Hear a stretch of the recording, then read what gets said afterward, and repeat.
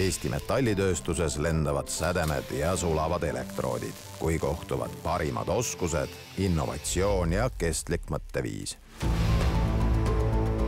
võistlussaade Rauataltsutajad otsib välja vägevad Eestimaa keevitajad ning paneb nad karmide kohtunike pilgu all proovile meie metallitööstuse kõige põnevamates ettevõtetes.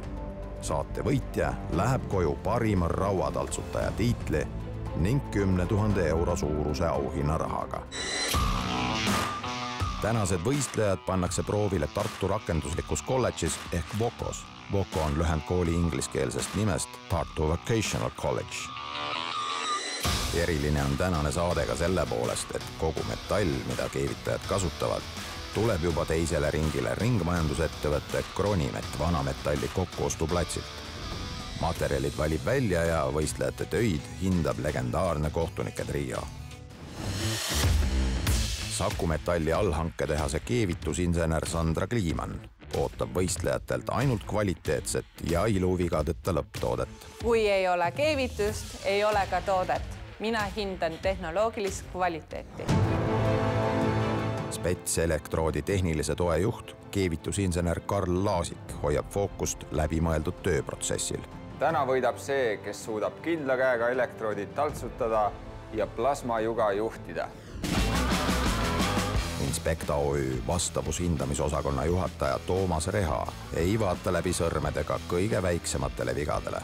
protsess on tore kuid siin loeb ainult aeg ja lõpptulemus.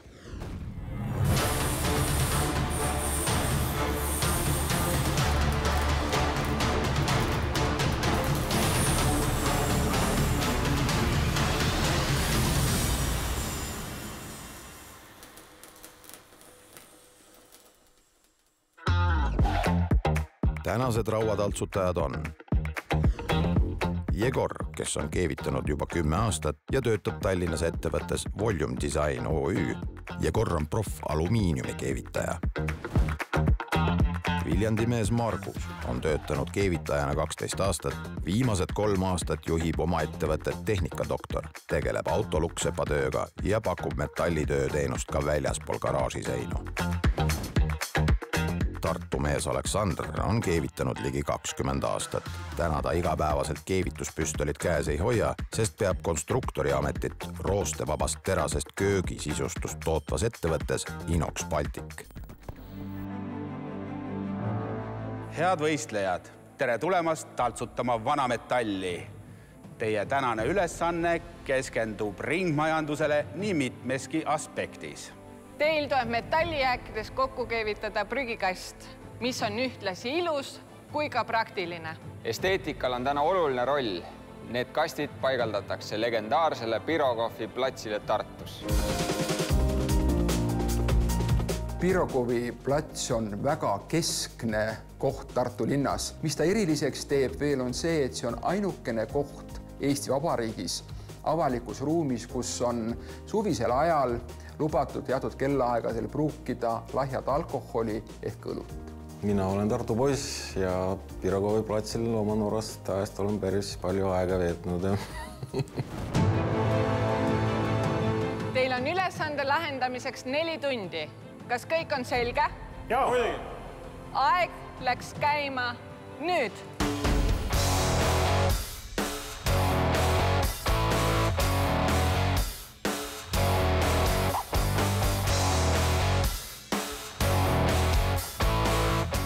mina näen, et tänane kitsaskoht on aeg, kuna me väga hindame seda, et toode oleks valmis ja visuaalselt ilus. kui ei ole toodet, ei ole midagi hinnata. niisiis on tänaseks võistlustööks peameetri kõrgune ja viiskümmend kilogrammi kaaluv risttahukas, mis koosneb neljast küljest, laest ja põhjast. oma peas äh, teen kõigepealt plaani kolmkümmend minutit äh, karkassi peale poolteist tundi pleki peale ja üle, ülejäänudna kokkupanemine.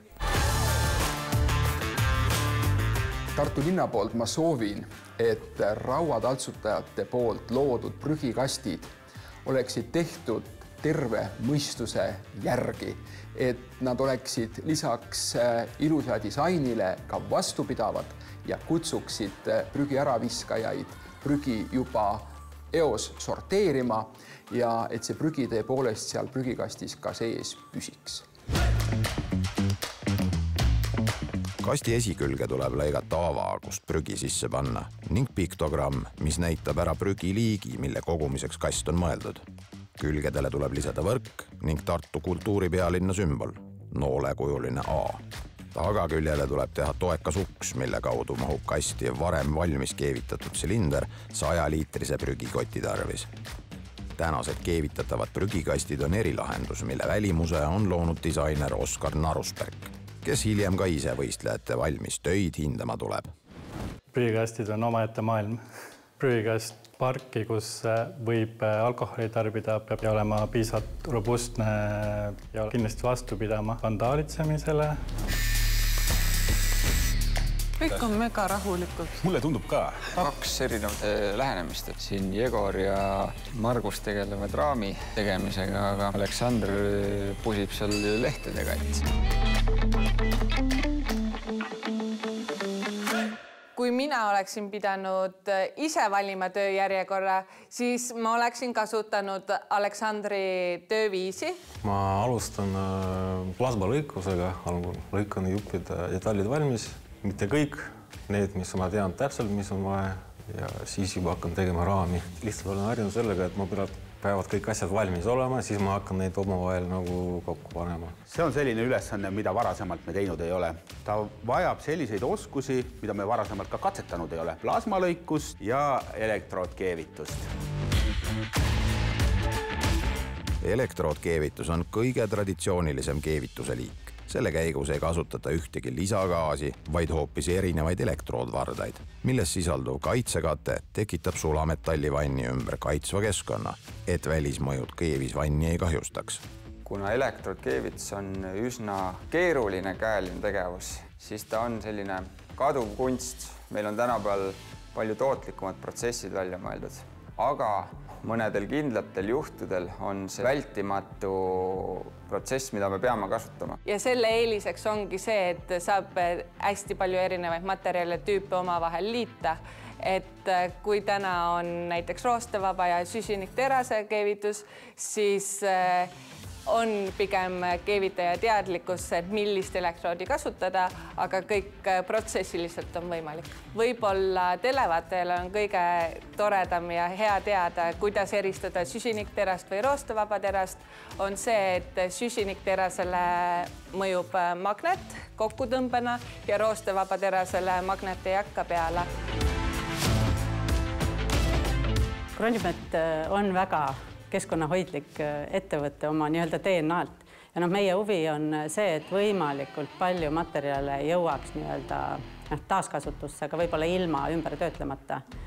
ja noh, me oleme loonud oma platsidel võimekuse, et kui noh, mõni eraisik või ettevõte tahab, siis ta tegelikult tuleb, vaatab seal hunniku juures valmis, et mis materjali üldse olemas on ja kui ta sealt midagi välja valib, siis me tegelikult müüme talle selle nii-öelda jupi tagasi. täna Kronimet on maailma kõige suurem roostevaba vanametalli koguv ja ümbertöötlusse saatev ettevõte. ja siin rauastaltsutajate saates me oleme ka ju kasutanud osaliselt ümbertöödeldud terast, et siis see vanametall, mille meie Türki saatsime, sellest on toodetud need teraslehed, millest teie nüüd neid tooteid valmistate aga samuti saab kasutada ka väiksemaid vanametallitükke siis selle nii-öelda toote valmistamiseks.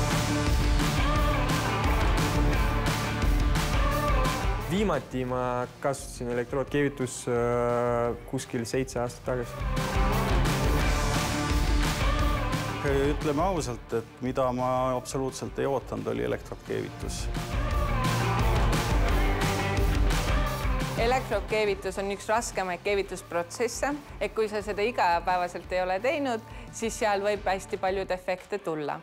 defektideks siis äh, on enamasti sisselõiked, räbupesad ja ka ebaühtlased keevisõmblused. lisaks elektroodi kattetüübi erinevusele on meil ka kolm erinevat paksust, diameetrit ja võistlejatel vaba valik äh, ise otsustada. praegu ma punktisin terve raami praegu äh, ühe elektroodiga, nüüd vahetasin polaarsuse ja siis keevitan teise elektroodiga ülejäänud neid kiid kahekümne seitsme aastane Jegor, kes igapäevaselt keevitab Tallinnas valgustatud välireklaamide tähti, on silmnähtavalt sõiduvees. Ma oskan hästi lugeda joonised, et äh, kohe saan aru asjadest, mis on vaja teha, ülesandes, siis äh, kiiresti saan keevitada, noh, ei saa öelda, et kiiresti keevitan, keevitusi ei tohi kiiresti teha, et muidu see tuleb jah, seal aukud ja mingi siukse, et noh, kokku panna saab kiiresti. Vaatamata noorusele on Jegoril märkimisväärne keevitaja kogemus raudteerööbastest peene alumiiniumitööni välja. mees õppis keevitamist Narva Kutsehariduskeskuses, oli kursuse parim ning pole peale kooli lõppu ühelgi muul alal töötanud. võistlushimuline on ta ka, lausa liiga tasemel. võistleda ikka meel meeldib, et äh, enne ma mängisin muidu hoki äh, päris kaua, kuskil kakskümmend aastat veel tegutsen krossi spordiga, krossi mootorrattaga sõidan uh,. seal on ka suht siuksed võistlused nagu käivadki. stardikiirenduse kohaselt minu kaardid on Jegori peal tema oli kiire kohane ja kiire õppija, kasutas seda lauda, rakiseid. raam oli poole tunniga juba valmis keevitatud ja ausalt öelda mulle tundub, et äh, ta liigub vääramatult võidu suunas. Ka Margus on esimesest ehmatusest üle saanud. ma arvan, ei ole viga praegu. esimese hooga natuke valesti sättisin üles, aga nüüd hakkab harjuma, et vist võistlusnärvi praegu eriti ei ole, et ma arvasin, et äh, on keerulisem vastutuse ja pinge ees pole ta kunagi risti ette löönud. enne kui ta eraettevõtjaks hakkas, keevitas ta pikalt naftapuurtornide seadmeid. See on ikka hästi vastutusrikas töö ja seal on paksud materjalid ja hästi palju paberimajandust. vigu sisse ei saa lasta, et oma tugevuseks pean seda, et ma olen ise õppinud keevitaja läbi nende kogemuste ja nende tööde, mis ma olen teinud, kogemused annavad mulle just selle, eh, kes ma täna olen esimene tund võistlusajast on täis tiksunud. Jegor ja Margus on elektroodkeevituse saladused mälusoppidest üles otsinud, aga loorberitel ei puhka ka Aleksandr. pinge on peal jah, aga suht rahulik. tema on metallitööd õppinud lausa kahes erinevas koolis. hiljuti lõpetas Aleksandr Eesti Maaülikoolis ka tootmistehnoloogia eriala, nii et süveneda ta mõistab ja väljakutseid armastab. kalal käin enamus ikka kodu lähedal Peipsijärve Emajõgi. kui õnnestub ja on saak ka, mida saab valmistada noh, söögiks teha. no selleks ma ka olen nagu endale ise teinud igasugused äh, grillimisvahendid ja grillid ja mis on sellised kompaktsed ja ise arendan neist. minu ideaalne tööolukord oleks nagu jah, üksi toimetada kuskil, keegi ei sega, saad rahulikult teha oma asjad. ja põhimõte selline viis mulle, et tee aeglaselt, aga korralikult. Aleksander on mugavustsoonist tõeliselt väljas, sest aeglaseks nokitsemiseks täna mahti pole. tuleb hoopis ajul ragiseda lasta. Aleksander on avastanud, et küljeplaatide lõiked tuleb teha peegelpildis ning kui plaadid kokku punktida, saab ju kujutised plasmalõikuse abil ühe korraga välja lõigata. midagi on siiski mäda natuke plasma jäi lahjaks ja kaks külge korraga vist ei õnnestu.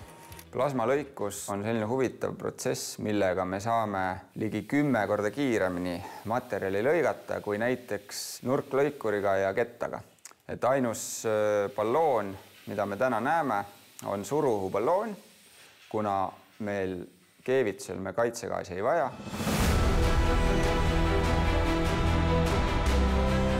plasmakaarlõikuse protsess sarnaneb keevitusega, kuid keevise asemel sünnib hoopis lõige. Nimelt tekib materjali ja põleti vahel kaar ning kontsentreeritud suruõhujuga puhub sulametalli vannist eemale. seega pole kuidagi loogiline, et niivõrd võimas tehnika praegu Aleksandrit alt veab. kohtunik Karl läheb asja uurima. ei tulnud läbi. ja aeglaselt ka ei tulnud jah, hakkab niimoodi närima onju punktitud plaadid tuleb jälle lahti lihvida ja nüüd proovib segaduses Aleksander ühest plaadist läbi lõigata. Aga masin keeldub endiselt koostööst. kui proovisin, siis tuli ilusti, siis tuli ilusti ja lõikas nagu võid. milles ometi asi? ma proovin lõigata. lõika jah. aga oota, muidugi lõika, mass, massi ei ole, kurat no ilma massita väga hästi ei lõika, jah. Plasmalõikur töötab elektrikaare põhimõttel, ehk siis miinuspoolus ja plusspoolus peavad omavahel kokku saama ja seal vahel tekib kaar, mis seda materjali sulatab. kui aga miinuspoolus on puudu ehk mass, siis äh, ei saa tekkida vooluringi ega mingisugust kaart, mis meil materjali lõikaks. inimene, kes on harva ja hoiab käes äh, tööriista nüüd viimane aeg, lihtsalt unustas äh, massi külge panna ja siis mõtles, et lihtsalt ei tööta see tööriist, aga tegelikult oma viga jah pingelises olukorras juhtub need. paneme kirja. jah, raam on mul valmis ja panen põhjaplaadi teen ja siis ma lõikan ilmselt esikülje ja küljed jätan viimaseks ja, ja selle uksega osa. sain valmis äh, raami, noh, siis keevitasin, lihvisin veits siis plekk läks nagu vastu ilusti.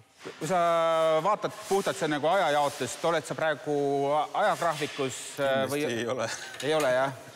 pool aega on möödas. minu favoriit on Jegor. minu favoriit on Aleksander. ja minu favoriit on Margus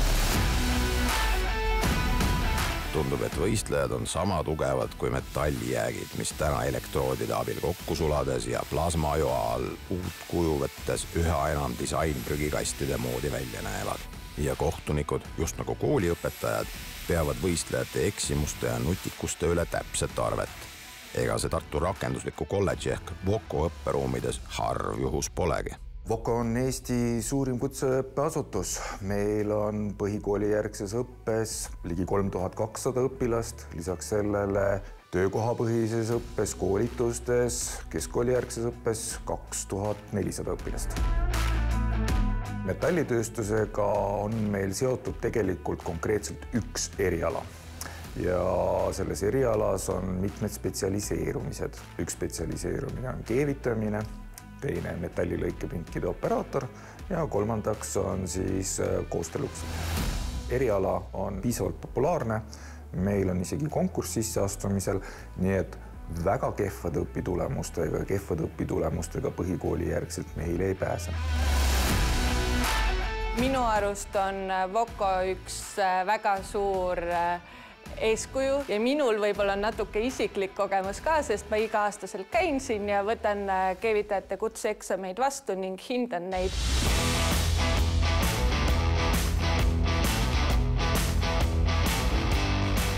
päris huvitav, et äh, Aleksander on võtnud kõige jämedama elektroodi, mis meil pakkuda oli. et mina isiklikult sellega ei saanud keevitada, kippus läbi sulama materjalist kui kakskümmend aastat tagasi õppisin seda erialat, siis minu lemmikkeevitusviis oligi elektrood, et teised mul ei tulnud väga hästi välja seal see ja lõppeski nagu, et elu jooksul väga harvalt olen nagu käes hoidnud elektroodi. võistlussaalis on tunda teatavat madalseisu. enne ahvi kiirusel toimetanud Margus on juba mitmekümneks minutiks joonistesse süvenenud. kohtunikud on pisut murelikud Margus ainult küll mõõdab ja mõõdab, aga ma ei näe lõikusi. mulle tundus, et Margus on täielikus sõiduvees, äh, tegi hästi raami valmis ja nüüd hakkas tegema külgi ja sisse lõikama avasid. kuid mis nüüd juhtus? ta muudkui mõõdab, mõõdab, mõõdab. esimene asi, kuhu mina Marguse saadaks, oleks metroloogia järeleaitamistundi. mõõtmine ei saa lihtsalt nii kaua aega võtta. head võistlejad, lõpuni kolmkümmend minutit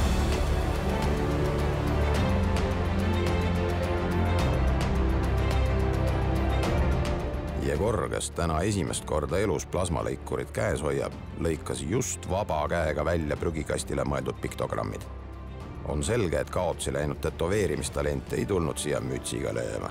tavaliselt, kui mul tuleb mingi pingeline olukord, siis ma hakkan ennast motiveerima ja siis äh, ütlen, et mul on kõik hästi, kõik tipp-topp, ma saan sellega hakkama ja siis äh.... kuid nagu ikka, liigne agarus võib olla ka ogarus mees on plasmalõikurist nii vaimustuses, et lõikas suure ähmiga tulevase prügikasti ukse metallplaadist täies ulatuses välja ning nüüd on tõsiselt kimpus.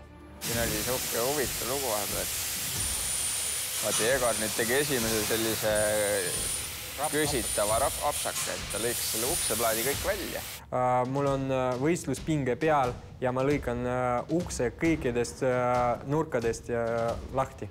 hinged oleks pidanud ennem. Enne ja pani valet pidi ka, et tal ei lähe enam nagu kokku hästi. see kuradi uks ikka võttis mul aega noh kahju, et mul on kaks kätt on jah, muidu ma teeks midagi paremini. et seal ma võtsin magneti ja siis panin nurgamagneti hoidma ukse Aleksandri laua juurest kostab kõrvu lukustavat kolkimist, mis vaheldub piinatud ketaslihvi ja sädemete merega. Kohtunikud on ühel meelel. valesti valitud elektrood on tekitanud ohtralt pritsmeid ja mees püüab neid iga hinna eest eemaldada.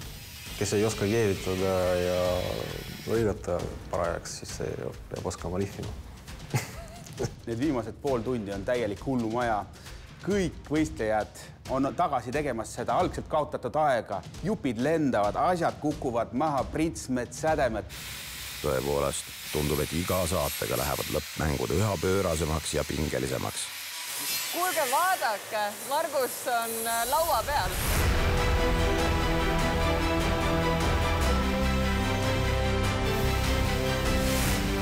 Margus ronib laua otsa, me pole varem sellist äh, möllu ja traagikat näinud. seda võiks nimetada sündroomiks kohane või kohanda.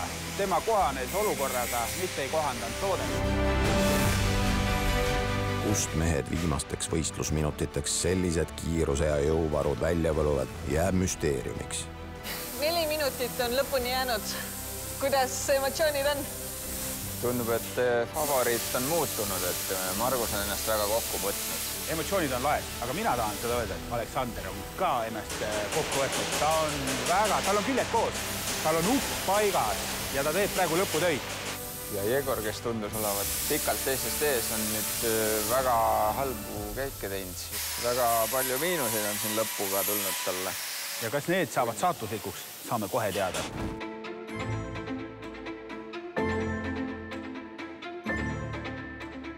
kümme üheksa, kaheksa, seitse, kuus, viis, neli, kolm, kaks, üks, stopp, lõpetage töö uh.. uskumatu tahaks öelda, et oleks midagi hästi kerge, aga ei olnud. nagu ma olen, ma ei tea, sada kilomeetrit jooksnud mis ma oskan öelda? jube kiireks läks. aga ma sain kokku.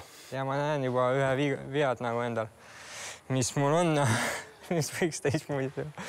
see ülesanne oligi nagu krossiga viimane ring sõitmine, et sa pingutad nagu kõik, kõik, mis sul jäi ja siis see, mis tuleb, see tuleb. nüüd pole enam tõesti midagi teha. mis tuleb, see tuleb kohtunikud kutsuvad stuudiosse disainer Oskar Narusperki ning asuvad töid hindama. hindamissüsteem on meil suhteliselt äh, sirgjooneline ja arusaadav. Kõigil on algselt sada punkti ja iga äh, defekti, vea, ebakorrektsuse eest hakkame punkte maha arvama ja selle tõttu lõpuks summeeruvadki miinuspunktid. kohtunikud võtavad järjest ette võistlejate tööd, uurivad keeviseid, funktsionaalsust ja disaini kummis? kummis, pehme et.... ja toetuspinnad puuduvad tagant. Kumerus, pealmine sihuke äh, kummes. Ja siin saab ennast äh, vigastada. tundub, et nii elektroodkeevitus kui plasmalõikus on olnud oodatust suuremad väljakutsed ning keevitusmöllus on disaineri jooniseid olnud raske jälgida. nool peaks olema kergelt äh, kõrgem või pikem äh, kõrgusesse. see on lahtine, et ta ei ole seda korralikult ära kinnitanud. kohtunikud leiavad nii väiksemaid keevitusdefekte kui mastaapseid vigu nii prügikastide disainis kui funktsionaalsuses.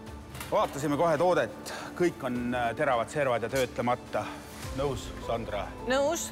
mis see põhiline viga on? noh, esiteks ta on täiesti kõver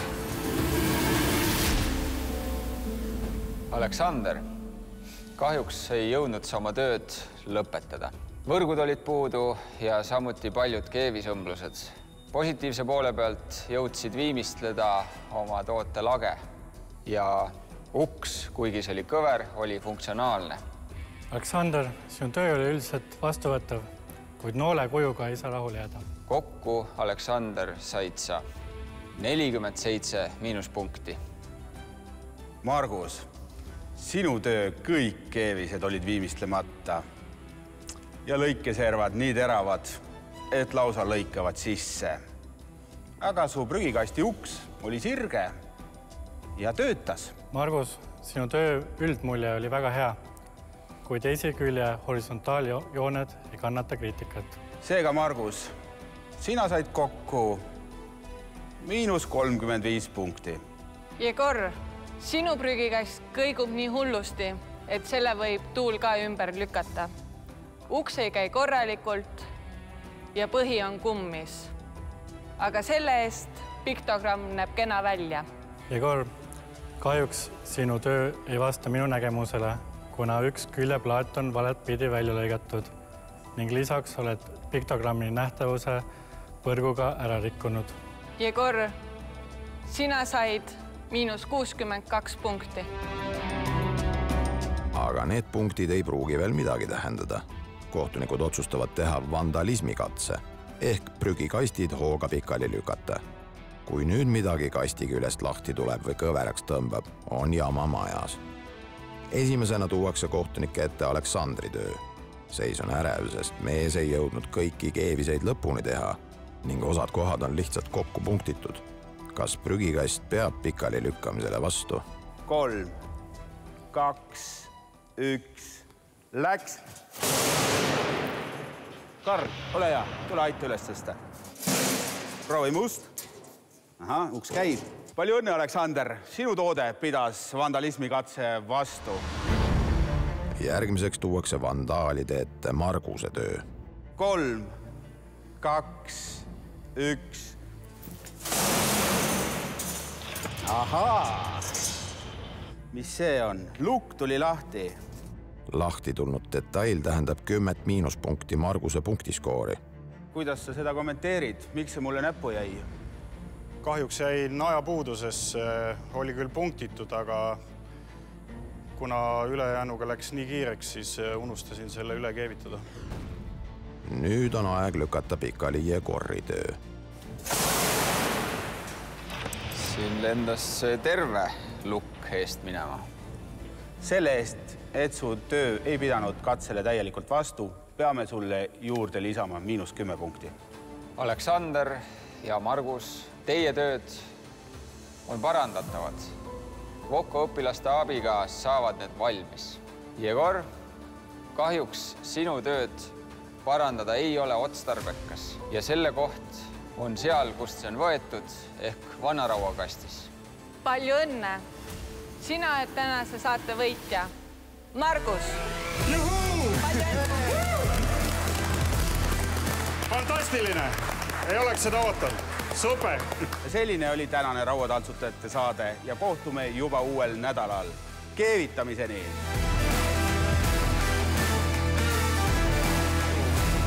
oli küll selle märkimisega raskusi ja jäin väga-väga häda aja ette, aga õnneks sain liikuma ja plasma päästis mul täna päeva, et et ma olen väga rahul, ma ei oleks sellist lõppu ootanud. tunne on super. keevitaja jumal oli täna minu poolel, et mul on väga hea meel selle pärast